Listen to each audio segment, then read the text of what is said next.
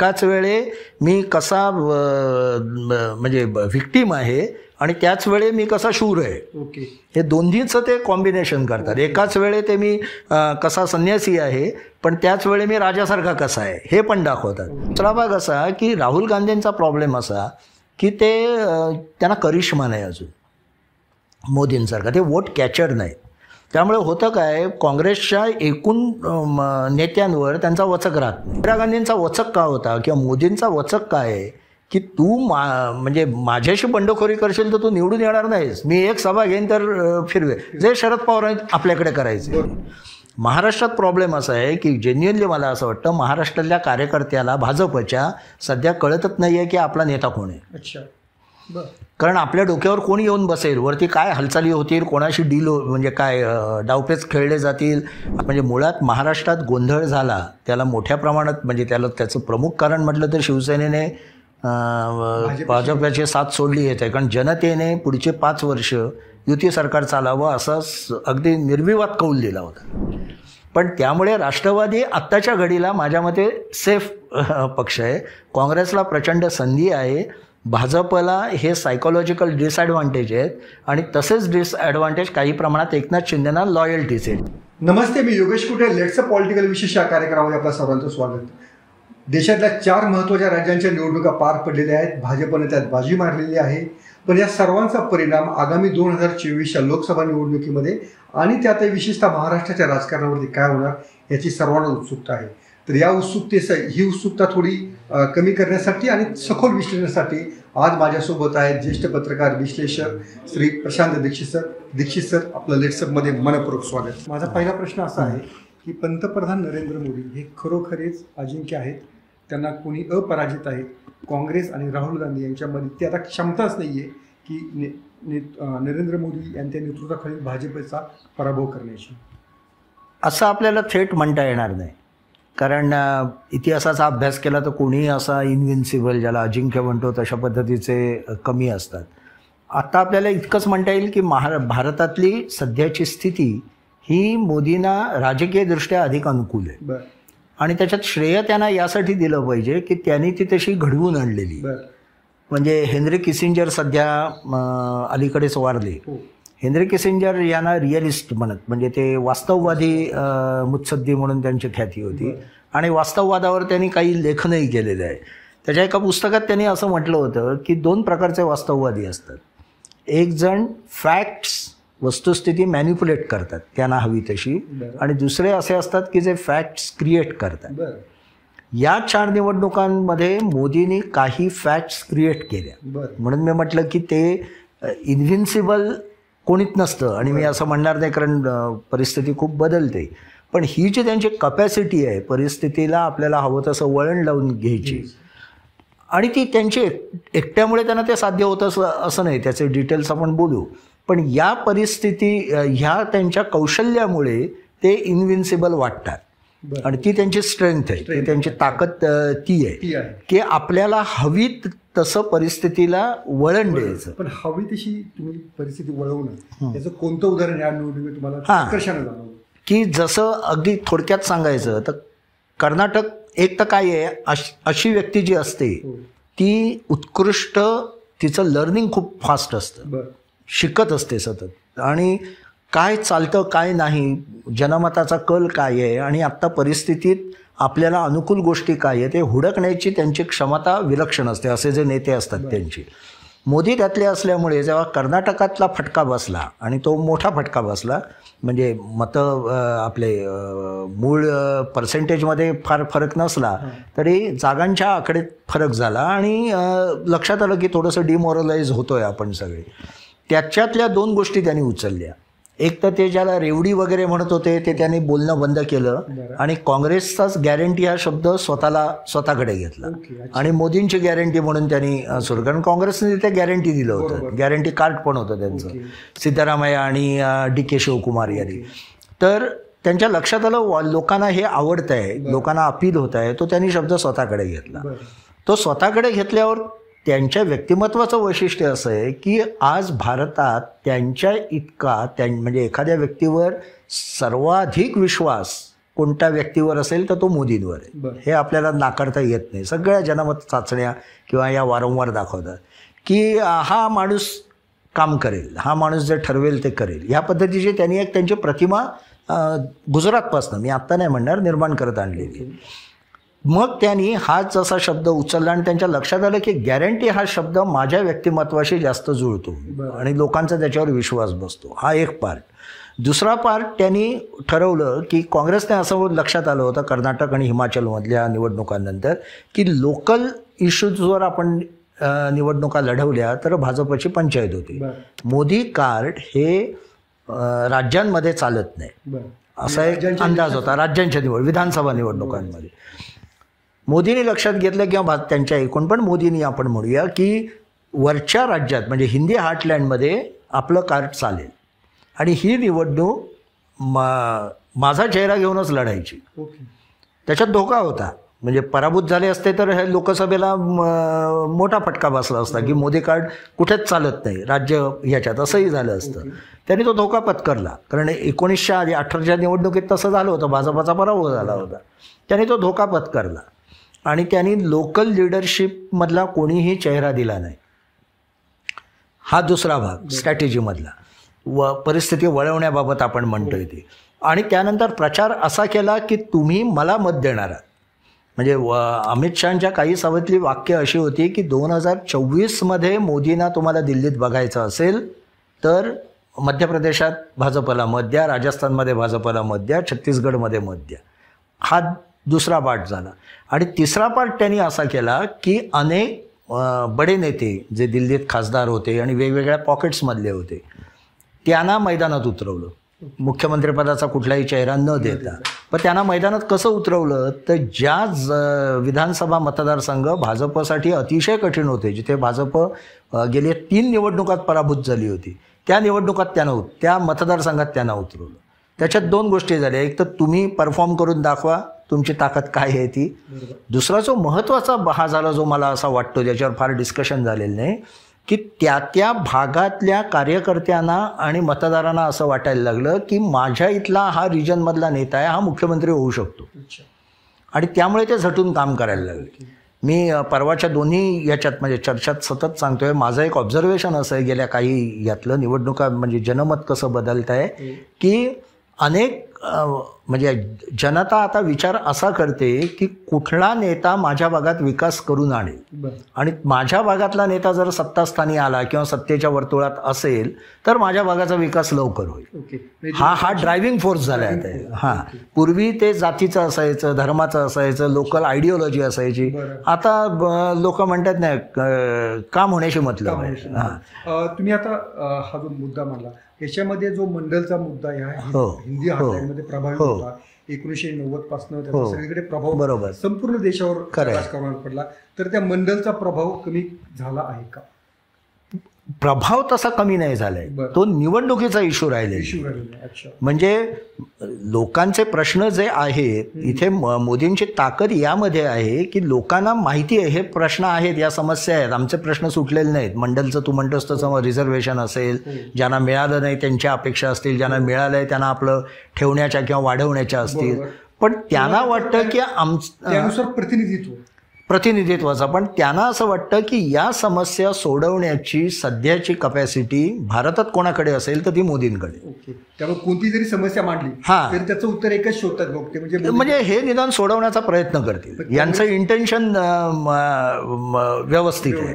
म्हणजे एक छोटं उदाहरण सांगतो. ज्या प्रदीप गुप्तांचा इंडिया टुडे ॲक्सेसचा सर्वे खूपच अचूक आला. मध्य प्रदेश आणि छत्तीसगडमध्ये आला तेलंगणात आला आणि बाकी ठिकाणी पण बऱ्यापैकी आला आणि त्यांचं सातत्याने येत आहेत. त्यांनी एक चांगली गोष्ट सांगितली.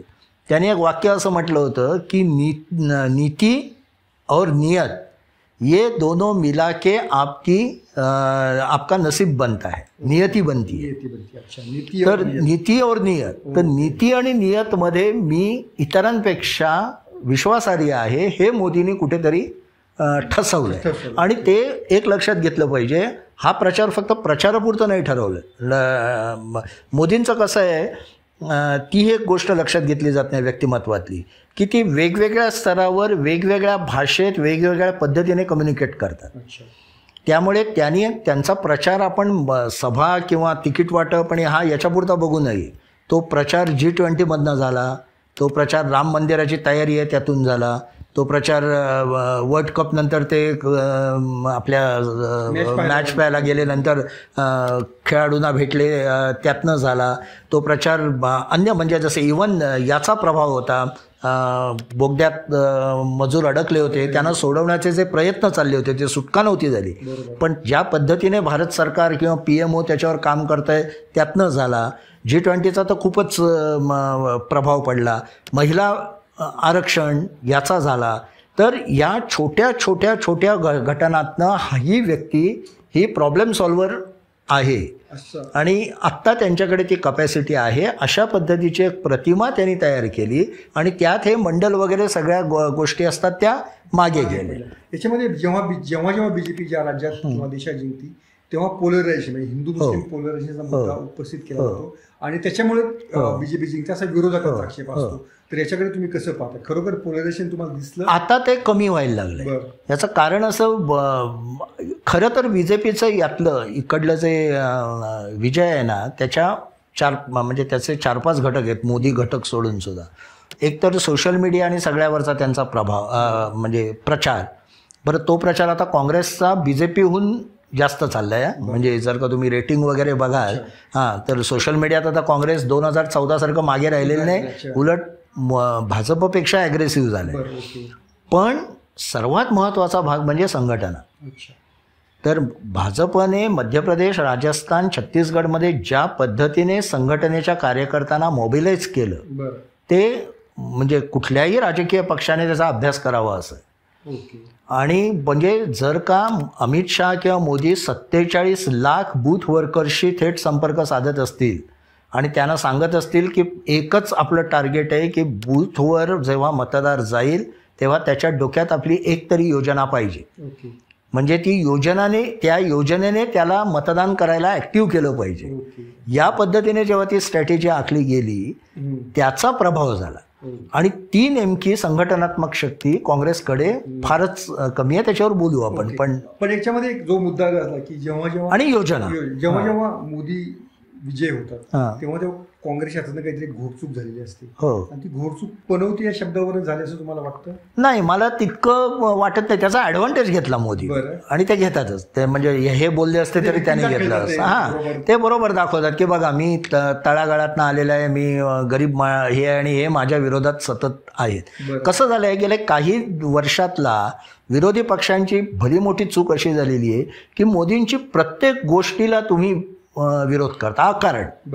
म्हणजे नवीन पार्लमेंट भवन झालं ते व्हायला होतं. मी त्र्याण्णवमध्ये संसदेत पहिलं कव्हर करायला गेलो दिल्लीमध्ये. तेव्हापासनं नवीन संसद भवन हवं ही चर्चा होती. त्र्याण्णवपासनं कारण डिलिमिटेशनमध्ये पुढे खासदारांची संख्या वाढणार आहे. तेव्हा त्र्याण्णवमध्येच अडचण होत होती. आता त्याच्यापुढे पस्तीस वर्ष तीस वर वर्ष होऊन गेली. पण यांनी लगेच नाही ते कॉर्पोरेट आहे. आम्ही सत्तेवर आलो तर त्या संसद भवनात जाणार नाही. लोकांना हे पटत नव्हतं. एक चांगलं उभं राहत आहे चांगलं हे होत आहे ॲक्सेप्ट करा ते किंवा आता प्रत्येक गोष्टीत जसं काल मोदी याला गेले होते आपल्या शिवाजी महाराजांचं त्यांनी पुतळ्याचं अनावरण केलं. त्याच्यावर मग हेलिपॅडवर किती खर्च झाला? त्या तो खर्च दुसरीकडे वापरता आला असता का? किंवा हा जो असा मूर्खपणाचा टार्गेट केलं गेलं ना त्याचा मोदी ॲडव्हान्टेज घेतात. की मला पनवती म्हणतात मला आता जसं नेहमी म्हटलं जातं शिवसेना इथे कायम आरोप करते की वानखेडे म- मध्ये मला इथली मॅच चोरली त्यांनी. वानखेडेची कपॅसिटी चाळीस हजार आहे. आणि नवीन नरेंद्र मोदी स्टेडियम झाले त्याची कपॅसिटी एक लाख चाळीस हजार आहे. बी सी सी आयला रेव्हेन्यू कुठनं जास्त मिळाला? नॅचरल आहे ना. तुम्ही तुमच्या काळात मुंबईत दोन लाखाचं स्टेडियम बांधायला हवं होतं. पंढरी म्हणता तर. हे जे म्हणजे हे विरोध लोकांना पटत नाही. म्हणजे मला काय म्हणायचं त्याच्यात प्रत्येक ते गुजरातच्या फायदा होईल असे निर्णय घेतात का तो शंभर टक्के घेतात? कुठलाही घेणार. म्हणजे तो उद्या पश्चिम बंगालचा मुख्यमंत्री पंतप्रधान झाला तर तो तिकडे हे करणार. पण सर्वच गोष्टी काही तुम्ही प्रत्येक गोष्टीला या पद्धतीच्या टीका कराल. समृद्धी महामार्गावरनं ज्या पद्धतीची टीका झाली. तर हे लोकांना त्यातनं ते पनवती वगैरे शब्दाचा फायदा करून घेतात कारण तो मग लोकांना वाटतं अरे काय यार याला या व्यक्तीला तुम्ही सतत किती छान. म्हणजे ते दाखवतात की मी बळी पडतोय. बघा मी व्हिक्टीम आहे. म्हणजे एकाच वेळे ते असं दाखवतात ते शे आपल्या पळशीकरांनी फार चांगल्या तऱ्हेने सांगितलं की ते एकाच वेळे मी कसा म्हणजे व्हिक्टीम आहे आणि त्याच वेळे मी कसा शूर आहे? ओके. हे दोन्हीचं ते कॉम्बिनेशन करतात. एकाच वेळे ते मी कसा संन्यासी आहे पण त्याच वेळे मी राजासारखा कसा आहे हे पण दाखवतात. पैशेकरांनी सुंदर वर्णन त्याचं केलेलं आहे. तर हा जो त्यांच्या व्यक्तिमत्वातला भाग आहे ना तो त्यांना यशस्वी करून दिला. हां. आपण काँग्रेसचा मुद्दा बोललो. या पराभवानंतर इंडिया आघाडीतलं काँग्रेसचं स्थान कमकुवत झालं आहे का? कारण आज प्र- ज्या प्रकारच्या बातम्या आल्यात की काँग्रेसनं बैठक बोलवली होती. हो. पण त्या बैठकीला जायला देखील हो. अनेक इतर पक्षांनी नकार हो. हो. तर याच्याकडे नाही ते वेटेज कमी होणारच ना. जसे अजितदादा बाहेर पडल्यानंतर अजितदादा बाहेर पा काढण्यामागे भाजपचं सरळ सरळ धोरण हे होतं की शरद पवारांची क्रेडिबिलिटी इंडिया आघाडीत कमी करायची. आणि ती झाली. त्याच्यानंतर आपल्याला दिसायला लागलं. आता राहुल गांधींची कमी झाली. या पराभवामुळे. पण काँग्रेसला बरोबर घेतलं पाहिजे आणि काँग्रेसच्या कलाने जायला पाहिजे हे प्रादेशिक पक्षांना शेवटी पटेल. कारण शेवटी चाळीस एक्केचाळीस टक्के मतदार असलेला काँग्रेस हाच पक्ष आहे. म्हणजे काँग्रेसचं वैशिष्ट्य काय आहे? योगेश आपण लक्षात घेत नाही. म्हणजे मगाशी मी म्हटलं जसं भाजपची स्ट्रेंथ अशी आहे मोदी हा चेहरा सोशल मीडिया म्हणजे एकूण प्रचारतंत्र उत्तम संघटना आणि योजना. काँग्रेसकडे संघटना अतिशय दुर्बळ आहे. योजना विस्कळीत आहे. त्या योजनांवर आपण पाहिजे तर बोलू. म्हणजे दोन्हीत फरक काय होता? पण तरीसुद्धा काँग्रेसला चाळीस टक्के मतदार आहेत. बरोबर. म्हणजे जे गडकरी म्हणायचे की काँग्रेसची ठेव आहे हो. ती स्वातंत्र्यपूर्व काळापासून चालत आलेली आहे. तर काँग्रेसला मानणारा हा वर्गाला या वर्गाला मॉबिलाईज कसं करायचं? आणि आपल्या बाजूनी आप म्हणजे नेते असे पुढे आणायचे की या लोकांना वाटेल आम्ही याच्यासाठीच मतदान करावं. हा जो संघटनेत हे जे संघटनेचं काम असतं ते संघटनेचं काम काँग्रेसमध्ये नाही आहे आणि इकडे महत्त्वाचा बदल असा झाला आहे की पूर्वी वाजपेयींचं सरकार आणि आर एस एस राष्ट्रीय स्वयंसेवक संघ हे फारसे एकमेकांच्या बरोबर नव्हते. यावेळे मोहन भागवत आणि नरेंद्र मोदी इतके एकमेकाच्या बरोबर आहेत. आणि भागवतांना माहिती आहे की आर एस एस आपल्याला वाढवायची असेल तर दिल्लीतली सत्ता आपल्याकडे पाहिजे. एक वेळ राज्य गेली तरी चालतील. पण दिल्लीतले सरकार आपल्याकडे पाहिजे आणि राष्ट्रीय स्वयंसेवक संघ ज्या पद्धतीने भाजपसाठी डायरेक्टली इनडायरेक्टली काम करतो. ते संघटना शक्ती हे आत्ता ॲडव्हान्टेज आहे आणि ते काँग्रेसच्या दृष्टीने मोठी अडचण आहे. हा एक भाग. दुसरा भाग असा की राहुल गांधींचा प्रॉब्लेम असा की ते त्यांना करिश्मा नाही अजून. मोदींसारखा. ते वोट कॅचर नाहीत. त्यामुळे होतं काय काँग्रेसच्या एकूण नेत्यांवर त्यांचा वचक राहत नाही. आणि त्यांच्या भोवतीचे दरबारी आहेत. ते मोठे होतात. किंवा आता जसं बोललं जातं की कमलनाथ यांनी आपलं चालवलं आपल्या लोकांना म तिकीटं दिली आणि ते पडले. अ, गेहलोतनी तसंच केलं. तेलंगणामध्ये मात्र तसं झालं नाही कारण तो रेवंत रेड्डी त्यांनी तो नवीन होता. त्याने त्याचं म्हणजे राहुल गांधी आणि त्यांचा तो सुनील कानुगुरू जो तो सल्लागार. त्याच्या याने झालं. आणि त्या सुनीलला या दोघांनी काही विचारलं नाही. आता का नाही विचारलं? म्हणजे राहुल गांधीने आपला हंटर चालवून कमलनाथ आणि यांना नथिंग ही एवढी तिकीटं देणार नाही. असं का नाही म्हटलं? एक कारण असं सांगतात की नाही नाही मग नेतृत्वाला धोका. आता राहुल गांधींच्या नेतृत्वाला काँग्रेसला पाच जागा मिळाल्या तरी धोका नाही. ही फॅक्ट आहे. हां ते आपल्याला अमान्य करताच येणार. उद्या अगदी काँग्रेसला दहा खासदार आले ना तरी गांधी घराणे असणारच. पण त्यांच्या भोवतीचे जे लोक आहेत त्यांच्या नेतृत्वाला धोका असतो. त्यामुळे त्यांच्या ताकदीला धोका असतो आणि तिथे राहुल गांधी किंवा सोनिया गांधी या कमी पडतात. डायरेक्ट म्हणजे इंदिरा गांधींचा वचक का होता किंवा मोदींचा वचक काय आहे की तू मा म्हणजे माझ्याशी बंडखोरी करशील तर तू निवडून येणार नाहीस. मी एक सभा घेईन तर फिरवे जे शरद पवार आपल्याकडे करायचे. ती जी ताकद आहे ना ती ताकद नसल्यामुळे करिश्मा नाही वोट केचर नाही पुन्हा ते स्ट्रॅटेजिस्ट पण नाहीत. मी जसं आता मोदींच्या स्ट्रॅटेजी सांगितल्या वेगवेगळ्या पद्धतीने ते सांगतात. अनुकूल- कशी करून घ्यायची त्यासाठी का त्याच्यात धोके असतातच. पण पीच बघून कसं खेळायचं? जे ऑस्ट्रेलियाने दाखवलं ते म्हणाले आम्ही पहिल्यांदा तसं खेळत होतो इथलं पिच बघितलं आणि आम्ही खेळ बदलला. तर ती बदलण्याचं ते ते पण त्यांच्याकडे हे नाही. त्यामुळे ते बोलतात छान मोहब्बत की दुकान वगैरे सगळं आहे ते मेहनत खूप घेतात. कौतुकास्पद आहे त्यांचं एवढं भारतभर चालणं ही काही चेष्टा नाही साधी गोष्ट नाही. पण त्यातनं आजच इंडियन एक्सप्रेसमध्ये डिटेल्स आहेत. की जिथनं जिथनं त्यांची पदयात्रा गेली तिथे उलट काँग्रेसने मार खाल्लाय तेलंगणा सोडल्यास. अच्छा. सीट्स कमी झाले. कमी झाले ओके. तर याचा अर्थ ते कॅरिशमॅटिक वोट कॅचरने आणि त्याच्या विरुद्ध जिथे जिथे मोदींनी रोड शो केले तिथली संख्या एकदम वाढली इव्हन कर्नाटकात. बंगलोरमध्ये भाजपची संख्या कधी नव्हती एवढी आमदारांची वाढली. जेव्हा त्यांनी शेवटचा रोड शो केला तेव्हा. म्हणजे कर्नाटकात पराभव झाला पण बंगलोरमध्ये फायदा झाला. जिथे जिथे अं, त्यांचे मोदी गेले हा हा. अजूनही म्हणजे ते बदल मानसिकता बदलू शकतात.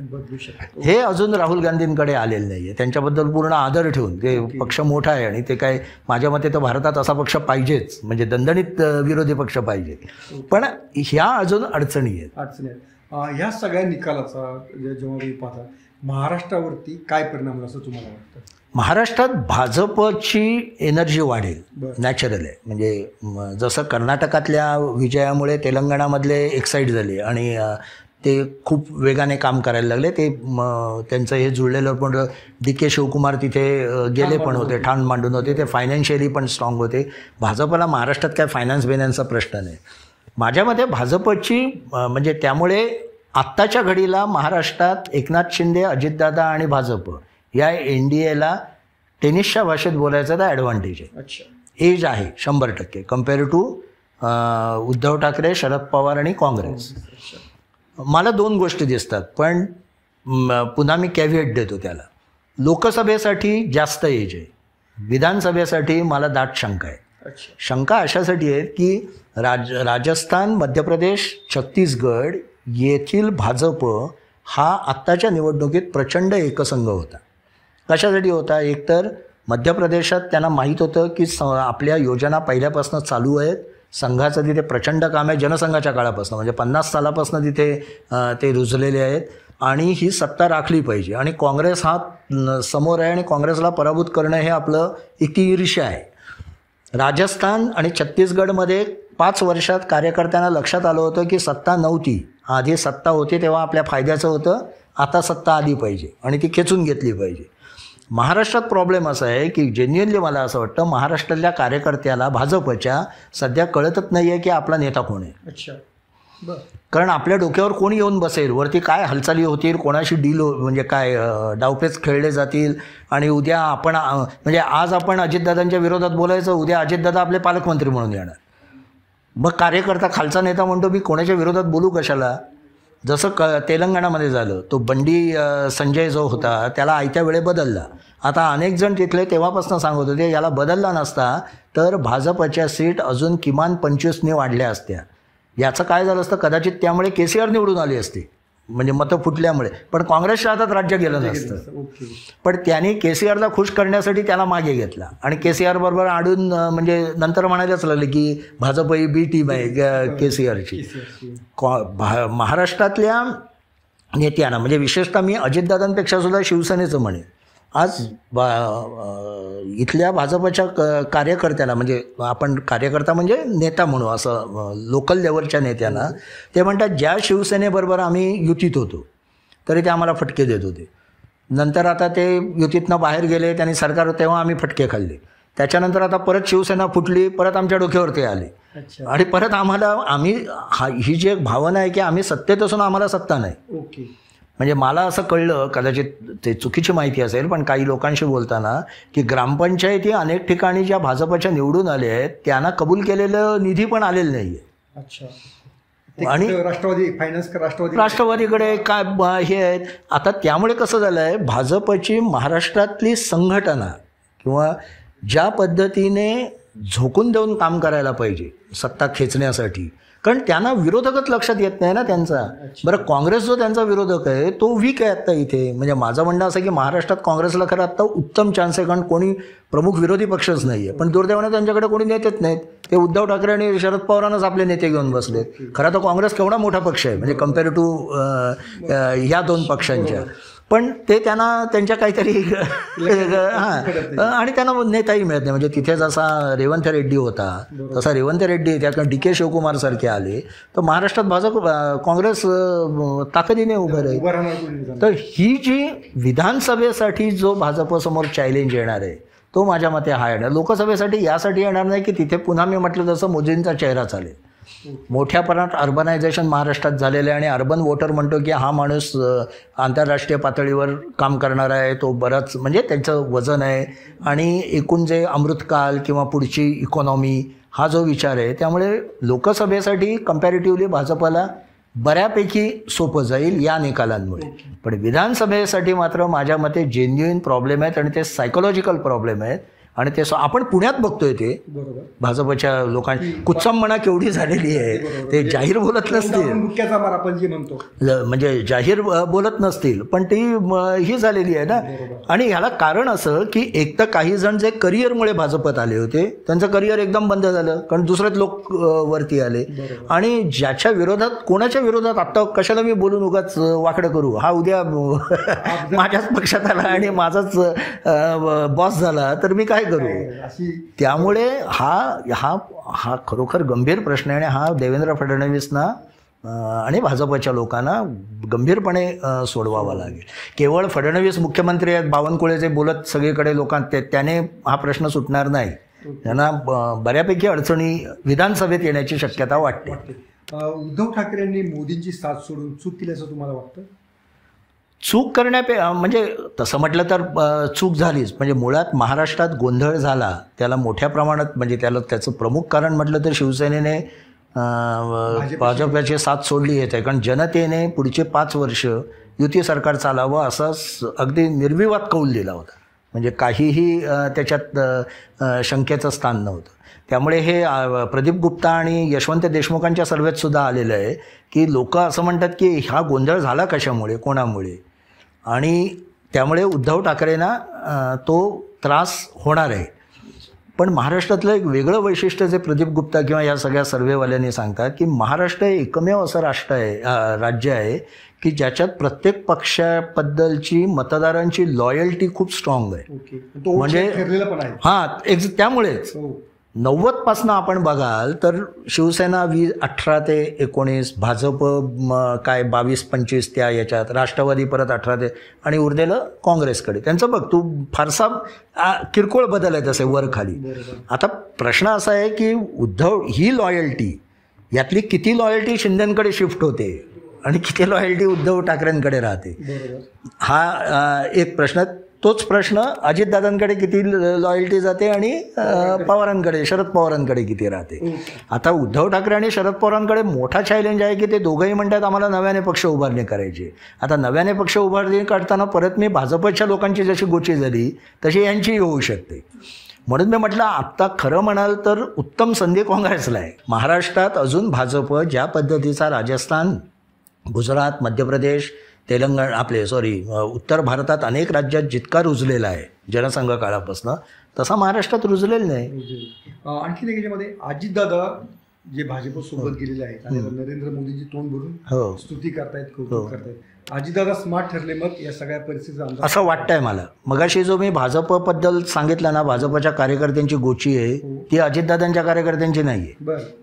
ते एकसंघ आहेत. अच्छा. त्यांना माहिती आहे सत्ता पाहिजे. म्हणजे जसं मी म्हटलं या निवडणुकीचं एक फार मोठं वैशिष्ट्य आहे की ही निवडणूक योजनांवर लढवली गेली. बर. भाजपच्या योजना काय काँग्रेसच्या योजना काय कोण तुम्ही आम्हाला काय देताय आणि तुम्ही कशा पद्धतीने देताय नुसती आश्वासनं देऊन नाही. म्हणजे चिरंजीवी योजनेचं खूप कौतुक झालं यांच्या गेहलोत यांच्या. त्याच्यात कार्ड दिली पंचवीस लाखाची. पण पुढे डिटेल त्याचे जेव्हा सर्व माहिती आली त्याच्यात असं लक्षात आलं की पंचवीस लाख इतका खर्च होणारे आजार फार थोडे लोकांना होतात. जवळपास नाही. त्याच्यावर फक्त दोन हजार कोटी खर्च झाले तो ओव्हरऑल योजनेवर. आणि लोक म्हणाले ज्यांना ते आजार होतात समजा तर त्यांना तसे उपचार पंचवीस लाखाचे उपचार हे एकतर जयपूरमध्ये होतात दिल्लीत होतात किंवा मुंबईत होतात. तो गरीब माणूस तिकडे कुठे जाणार? त्यामुळे ते लंकेत सोन्याच्या विटात असं होतं. त्याच्यापेक्षा त्यांनी जर का केजरीवाल यांच्यासारखे छोटे हॉस्पिटल दवाखाने हे ते यातनं स्वस्त दिलं असतं तर कदाचित फायदा झाला असता. किंवा दुसरी योजना ते सांगतात शंभर युनिट आम्ही वीज फुकट दिली. बरोबर आहे. पण एकशे एक एक युनिट जरी वाढलं तरी विजेचा दर अकरा रुपये आणि तो मागच्या सगळ्या शंभर युनिटला लागतो. त्यामुळे ते बिल उलट वाढायला लागलं. तर सांगायचा हेतू काय की डिल जसं बघेलांच्या पण काही योजनांचं झालं की त्या सिलेक्टिव्ह झाल्या त्याच्यात दलाल आले मध्ये. जे मोदी आणि शिवराज सिंग चौहान यांनी ठामपणे मोडून काढलं. दलाली नाही. थेट तुमच्या तुम्हाला मिळणार. आणि शिवराज सिंग चव्हाणांच्या लाडली बहिणीचं खूप कौतुक होत आहे ते बरोबरच आहे. पण गेल्या वीस वर्षात त्यांच्या अठरा योजना महिला सेंट्रिक आहेत. ओके. महिलांना समोर ठेवून आखलेल्या आहेत आणि त्या इम्प्लिमेंट होत आहेत. तेव्हा ट्रॅक रेकॉर्ड आहे. हा ट्रॅक रेकॉर्ड तो तशा पद्धतीचं काम तुझ्या मूळ प्रश्नावर अजितदादांची राष्ट्रवादी करू शकते कारण राष्ट्रवादीची बांधणीच तशी झालेली. ते जे म्हणतात की विकासासाठी सत्ता पाहिजे ते एका अर्थानं बरोबर आहे. आणि त्यांनी पश्चिम महाराष्ट्रात तुलाही माहिती आहे की ब- म्हणजे संघटना आहेत संस्था आहेत विकास झालेला लोकांना दिसतो. म्हणजे मराठवाडा आणि पश्चिम महाराष्ट्र शेजारी शेजारी ठेवला इवन कोकण आणि पश्चिम महाराष्ट्र ठेवला तरी फरक जाणवतो. त्यामुळे त्यांचे कार्यकर्ते हे म्हणतील नाही बरोबर आहे. हे मोदींना निवडून आणलं पाहिजे विधानसभेत दादांना आणलं पाहिजे. आता प्रश्न तो जो लॉयल्टीचा आहे आता कार्यकर्ते शरदरावांबरोबर जाऊन आपला फायदा आहे का? अजितदादांबरोबर आहे. ते अजून जज करता येत नाही कारण महाराष्ट्रात दीड वर्षात कुठली निवडणूकच झाली नाही. पण त्यामुळे राष्ट्रवादी आत्ताच्या घडीला माझ्या मते सेफ पक्ष आहे. काँग्रेसला प्रचंड संधी आहे. भाजपला हे सायकोलॉजिकल डिसॲडव्हान्टेज आहेत आणि तसेच डिसॲडव्हान्टेज काही प्रमाणात एकनाथ शिंदेना लॉयल्टीज आहेत. शिवसैनिक कडवा शिवसैनिक. ओके अच्छा. हा त्यांनी किती आपल्या बाजूला वळवलं आहे आणि हे सांगणारी एकही निवडणूक झालेली नाही. किंवा हे दिशा दाखवणारी. एक याच्यामध्ये की हिंदुत्व हा जो शब्द होता हो. की हिंदुत्व शिवसेनेचा हो. शब्द होता काय. हिंदू काय किंवा आहे. हिंदू हो, आहे हो. तर हा हिंदू शब्द आता आजकाल सध्या प्रचारात दिसत नाहीत कोणत्या पक्षाच्या तर ते नक्की काय घडलंय हे पुन्हा मी मगाशी म्हटलं तसं मोदींनी जे शिफ्ट केलं. आहे म्हणजे एक तर त्यांनी निवडणुका योजनांवर आणल्या कारण दोन हजार एकोणीसपर्यंत सर्वांना कळलं की बालाकोटपेक्षा मोदींचं इम्प्लिमेंटेशन योजनांचं आणि त्यांचे धाडसी निर्णय घेण्याची प्र वृत्ती मग त्याच्यात नोटबंदीपासून अनेक ह्या होत्या याचा लोकांवर परिणाम झाला आणि त्यानंतर सगळी राज्य आता म्हणजे कॉम्पिटिशन आहे सगळ्या राज्यांमध्ये आणि हे माझ्यासाठी लोकशाहीसाठी अतिशय उत्तम आहे. म्हणजे तुला मला मतदान करताना आपण जर योजनांवर समोर ठेवून मतदान करत असू तर ते फायद्याचं आहे. मगाशी म्हटलं तसं बी जे पीचे जे अनेक पिलर्स आहेत हो. त्याच्यात प्रचार मोदींचा चेहरा प्रचार संघटना योजना आणि इमोशन. आणि ते हिंदुत्व इमोशन आता बी जे पी बरोबर इतकं चिकटलं आहे आणि आता बाकी सर्व लोकांना लक्षात आलं आहे की आपल्याला अँटी हिंदू होऊन चालणार नाही. ओके. म्हणजे आता सिच्युएशन अशी आहे जी पहिल्यांदा होती काँग्रेसच्या काळात. म्हणजे इंदिरा गांधी किंवा इवन हो इंदिरा गांधींच्या काळापर्यंत. आणि हे नरसिंहरावांनी पण नंतर बोलून दाखवलं होतं बाबरीच्या याच्यानंतर की भारतात तुम्ही मुस्लिम काय म्हणतात तुम्ही प्रो मुस्लिम थोडेफार असलेले चालता. ॲपिजमेंट नाही आवडत. ते राजस्थानमध्ये अंगाशी आलं. पण प- ठीक आहे. तुम्ही प्रो मुस्लिम म्हणजे एक एखाद्या मुस्लिमांना काही योजनांची मदत मिळत असेल तर हिंदू त्याच्याबद्दल आक्षेप घेत नाही. पण तुम्ही अँटी हिंदू असून आता चालत ओके. ते आता सर्वांना सर्वांना सर्व पक्षांना म्हणजे केजरीवाल असो कोणी असो आज बघ ना काल तो डी एम केचा खासदार काल म्हणाला की गोमूत्र पिणाऱ्यांनी फक्त हे गोमूत्र पिणाऱ्या राज्यातनं भाजपला हे मिळालं आहे आज क्षमा मागायला लागली हाऊसमध्ये. आणि सर्व पक्षांनी झाडून काढला त्याला इन्क्लुडिंग काँग्रेस. की ममताने हे असलं कोणी कारण ते सनातन धर्माचा त्यांना फटका बसलाच होता. आता लोक म्हणाले तामिळनाडूत झालं नाही पण इकडे बसला ना. कारण इकडली लोक ज्या पद्धतीने धर्माकडे बघतात उत्तर भारतातली त्याच्यापेक्षा दक्षिणेतली एक वेगळी बघतात. आपल्या महाराष्ट्रात वेगळी बघतात. म्हणजे मला नेहमी वाटतं ना की महाराष्ट्रात भाजपला किंवा संघाला वाढायचं असेल तर आपलं हिंदुत्व हे वारकऱ्यांचं हिंदुत्व आहे. आणि ते शिवाजी महाराजांपासून आलेले आहे. आणि त्याचा तोंडावळा वेगळा आहे.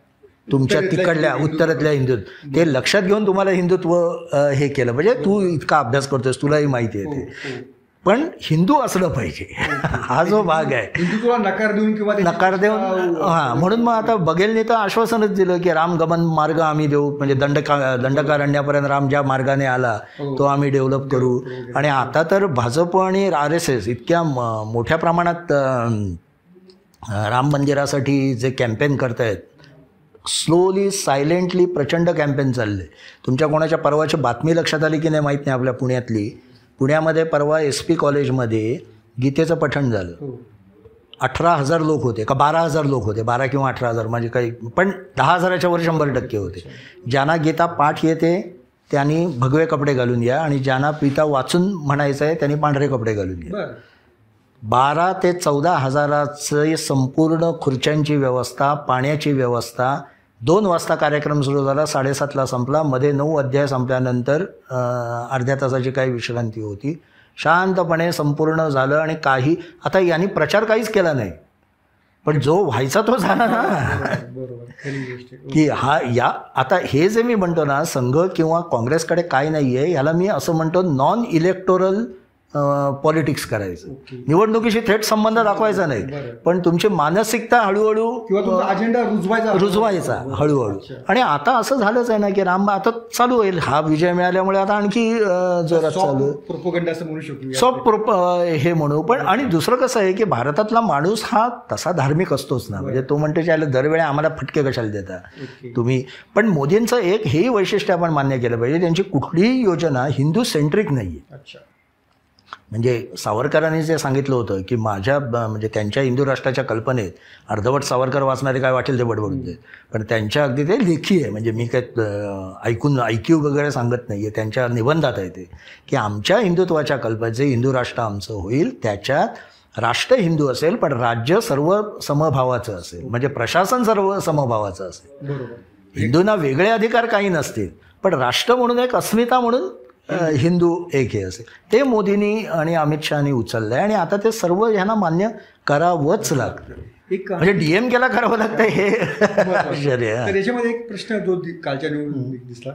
तेलंगणामध्ये काँग्रेसला विजय मिळाला हो. आणि वरती भाजप निवडून आली. तर दक्षिण भारत आणि उत्तर भारत किंवा आपण जो एक तो एक भ्रम निर्माण केला हा, जातो तसं काय म्हणजे राजदीप सरदेसाचं वाक्य होतं की दक्षिण भारत हा भाजप मुक्त झालेला आहे हो. आणि उत्तर भारत हा काँग्रेस हे काय करतात हे काय म्हणतात स्वतःला तथाकथित बुद्धिवादी तथाकथितच म्हणतोय खरे विचारवंत बुद्धिवादी नव्हे. हे असे काहीतरी भेद करून ना खरोखर उगाच लोकांच्या मनात संभ्रम. करतात किंवा कलुषित हे करतात. म्हणजे जसं हे गोमात आपले गोमूत्राची स- राज्य वगैरे. ॲक्च्युली काय वस्तुस्थिती काय आहे? का कर्नाटकात भाजप नाही आहे का? दोन वेळा सत्तेत आलेले आहेत. आणि आताही त्यांची संख्या आहे तिथे. तेलंगणात त्यांचं अ, मतदार मतसंख्या अठरा टक्क्यावर गेली आहे. अठरा टक्के ही काही कमी छोटी गोष्ट नाही आहे आत्ताचे सगळे अभ्यासक सांगतात की जर का नवीन पटनाईक म्हणजे पोस्ट नवीन पटनाईक जे काय ओरिसा होईल त्याच्यात कदाचित ओरिसा राज्य भाजपकडे जाईल. पश्चिम बंगालमध्ये सत्याहत्तर आमदार आहेत. त्यांनी काँग्रेस आणि सी पी एमला झोपून टाकलं आहे आसाममध्ये दोन वेळा निवडून आलेत. ओके त्यामुळे असं नाही आहे की तो पक्ष वाढत नाही आहे प्रश्न असा आहे की काँग्रेस भा भारत स्वातंत्र्य झाल्यावर सगळीकडेच होती. मग काँग्रेस लहान होत गेली आणि काँग्रेस पण दक्षिणेत केरळ आणि यातनं म्हणजे काँग्रेस फक्त कर्नाटक पुरता पक्ष आहे असं म्हणायचं का? कर्नाटक तेलंगणा पुरता असं आपण म्हणतो का? ते आपण म्हणणार नाही. पण भाजप मात्र मुक्त झाला आहे. हा म्हणजे केरळ आणि तामिळनाडू काँग्रेस मुक्त झाली असं तुम्ही म्हणणार का? तर तसं नाही म्हणता येत कारण आहे तिथे काँग्रेस अजून. तामिळनाडूत पण आहे. सत्तेत येणं वेगळं आणि हे असणं आणि भाजपचे बी इनरोड्स सगळीकडे झालेले आहेत. ओव्हर द इयर्स मोदींच्या भाजपनंतर खऱ्या अर्थाने भाजपचा विस्तार सुरू झाला. म्हणजे भाजपचा जन्म जरी ऐंशी सालात झालेला असला मधल्या काळात त्यांनी वाजपेयींची सत्ता वगैरे मिळवली असली तरी ॲग्रेसिव्हली आपण पुढे गेलं पाहिजे. एक्सपान्शन आपण केलं पाहिजे. हे दोन हजार चौदा नंतर सुरू झालं. आणि त्याला मी मगाशी म्हटलं तसं संघाने त्याच्यात उडी घेतली की हे राजकीय नाही तर संघ पडायचा नाही सक्रियपणे सगळं पण मगाशी म्हटलं तसं सायलेंटली त्यांचं चालू होतं. आता त्यांना दिसलं की भूमी आपल्याला म्हणजे चांगली मशागत झालेली आहे आता घुसूया. पण हा माझ्या मते बुद्धिभ्रम करायचा प्रश्न हा आहे. आणखी एक गमतीचा हा केला. राजदीप सरदेसाईंच्याच अं, याच्यात आहे की आत्ताचे म्हणजे राजस्थानमधल्या आत्ताचे विधानसभेचे निकाल आपण घेतले आणि ते मागच्या लोकसभेच्या निकालांवर सुपर इम्पोज केले तर भाजपाच्या जागा तीसने कमी होतील या पट्ट्यामध्ये. असंच मध्य प्रदेशात केलं याच्यात केलं. त्याच्यावर आपल्याकडचे काही काँग्रेसप्रेमी पत्रकार लगेच बोलायला लागले होते. माझा प्रश्न त्यांना असा की मग एकोणीसमध्ये पण असंच करून बघा ना अठरामध्ये ज्या जागा होत्या त्या जर का एकोणीसच्या लोकसभेमध्ये सुपर इम्पोज केलात तर मग तरीसुद्धा तेव्हाही तशा कमीच दिसल्या असल्या भाजपच्या. पण भाजपने स्वीप केलं. पूर्णपणे म्हणजे पूर्ण. हो. तर. परत घेतीलच असं नाही पण हे काय आहेत हे तुम्ही बुद्धिभ्रम म्हणजे हे करायच्या गोष्टी आहेत. लोकसभेसाठी लोक पूर्ण वेगळ्या याने मतदान करतात. त्याच्यात आत्ता त्यांना ॲडव्हान्टेज मिळेल. पण तरीसुद्धा तो पूर्ण ॲडव्हान्टेज असेल असं नाही. आणि जे आपल्याला स्टुडिओत बसून कळतं ते काय मोदी शाना कळत नाही का? मोदी आपल्या दहा पावलं ते दहा काय दहा मैल पुढे असतात त्यांचं रिडिंग हां म्हणजे आणि रिसोर्सेस प्रचंड असतात अनेक ठिकाणाहून इनपुट्स येत असतात. त्यामुळे त्यांनाही ते माहीत असतं. तर शेवटचा प्रश्न दोन हजार चोवीसच्या निवडणुकीमध्ये भाजपनं गे दोन हजार एकोणीसच्या निवडणूक भाजपनं आपकी बार तीनशो पार असा नारा दिला हो. होता. तर या निकालानंतर तो भाजपसाठीचा नारा साडेतीनशो पार आहे चारशो पार. काय असू शकतो? त्याने नारा दिलाय आणि तो नारा देणं आवश्यक असतं. हो. राजीव गांधींना चारशे पाच मिळालं ते त्यांच्यासमोर टार्गेट आहे पण ते एक्सेप्शनल केस होती. इंदिरा गांधींच्या हत्येनंतर ते जे काही वातावरण आलं सर्व समाजाला वाटलं की आपल्याला स्थिर सरकार दणदणीत पाहिजे आणि तो त्यांना आणि राजीव गांधीचा चेहरा नवीन तरुण होते. मला वाटत नाही त्या पद्धतीने जाईल. इवन तीनशे पाच गाठणं सुद्धा बऱ्यापैकी टफ जाईल. बहुमताच्या म्हणजे मी मगाशी म्हटलं तसा ॲडव्हान्टेज खूप आहे. कारण शेवटी राजस्थान मध्य प्रदेश याच्यात पूर्वीच्या पैकीच्या पैकी गुण मिळाले ते दरवेळी मिळतीलच असं नाही. खासदारांविरुद्धची अँटी इन्कम्बन्सी काही ठिकाणी ही असू शकते. पण ते त्यांना आधीपासून माहिती आहे. म्हणजे अमित शहाचं जे काही मी ऐकलं आहे काही लोकांकडनं आणि त्यांनी तीन वर्षापूर्वीपासूनच चालू केलं की हे अभि तो या नाही मिलेगा इतना. म्हणून ते बाकीच्या ठिकाणाहून इनरोड्स घ्या. म्हणजे तेलंगणात कदाचित वा वाढू शकतात. आत्ता जरी पराभव झाला असला तरी. पश्चिम बंगालमध्ये कमी होतील का वाढतील? सगळेजण डिस्कशन करताना कसं करतात? भाजपच्या आहेत तेवढ्याच राहतील किंवा कमी होतील? अन्य राज्यात सुद्धा. आणि काँग्रेसच्या मात्र वाढतील. असं होणार नाही ना? बरोबर दोघांचे वाढतील कमी होतील काही हे होऊ शकतं. तर हे कळणं खूप कठीण आहे आत्ताच्या घडीला पण आत्ताच्या घडीला ॲडव्हान्टेज ज्याला आपण म्हणतो तो आहे. आणि आत्ताच तुम्हाला बातमी सांगितलीस तसं काश्मीरमध्ये निवडणुका होऊ शकल्या तर तो आणखी एक मोठा ॲडव्हान्टेज आहे. कारण तो जो पुन्हा मी म्हटलं तसं जो करते आहे म्हणजे त्यांनी जे काल मागे जे वाक्य लिहिलं होतं ना मोदींचं भाषण ऐकण्यासारखं होतं ते सगळं सूचित करणार होतं. एक तर त्यांनी तू मगाशी जो याचा मुद्दा मांडलास जात आणि याचा मंडळ त्यांनी सांगितलं मी चारच जाती मानतो. गरीब शेतकरी महिला तरुण आता याला आर्ग्युमेंट करणं कठीण आहे. त्याने बाकीचं आर्ग्युमेंट बाजूला ढकललं आणि यांच्यासाठी मी योजना आखणार.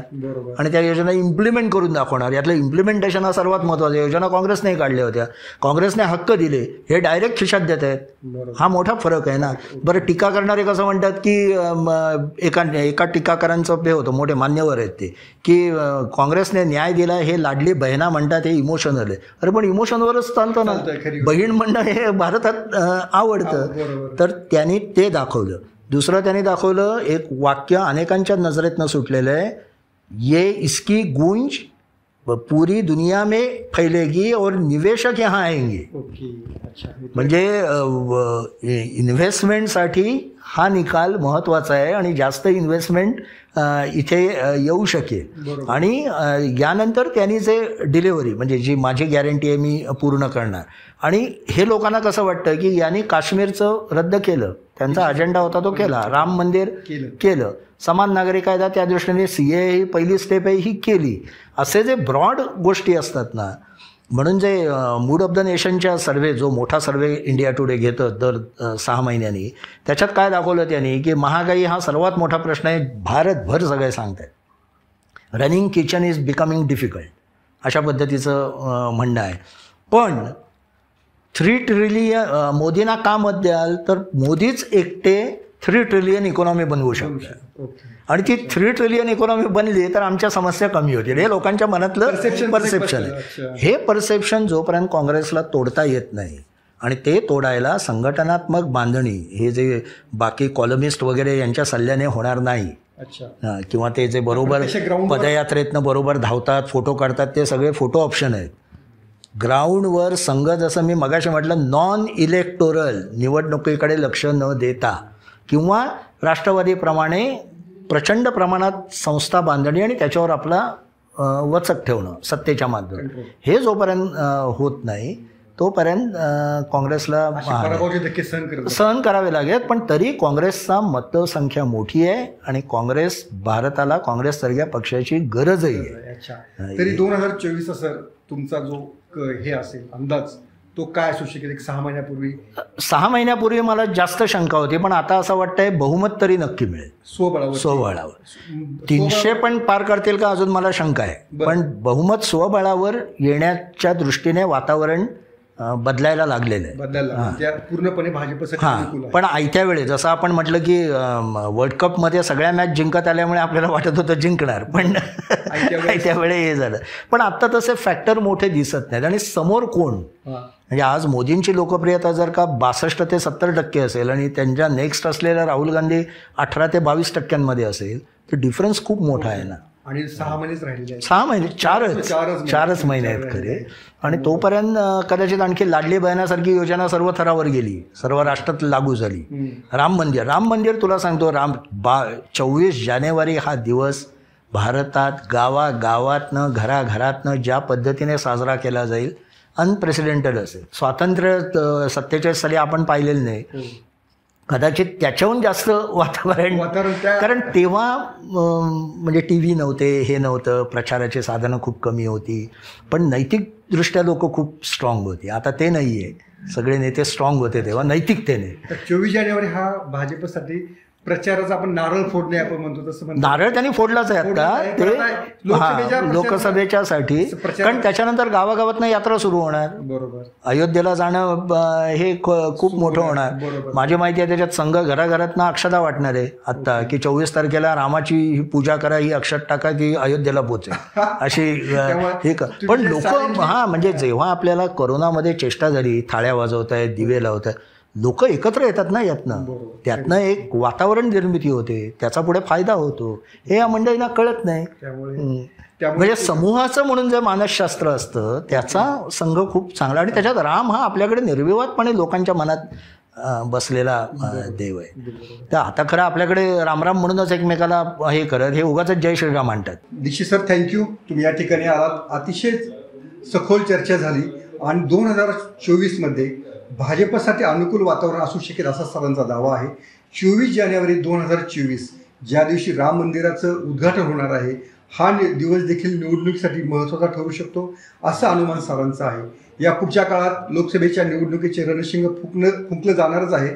तर तेव्हाही सरांची सरांसोबतच्या अशा चर्चा आपल्या ज्ञानामध्ये आणि माहितीमध्ये नक्कीच भर घालतील. तर दीक्षित सर थँक्यू तुम्ही इथं आल्याबद्दल आणि असंच येत राहा.